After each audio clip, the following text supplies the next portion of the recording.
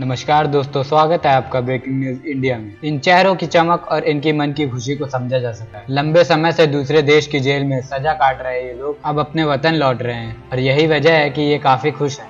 मैं पंद्रह महीने से इधर लांडी जेल में था और पंद्रह महीने के बाद अभी घर जा रहा हूँ इंडिया मुझे बहुत खुशी हो रही है और अपने मम्मी, डैडी से और मेरी पूरी फैमिली से मिलूँगा।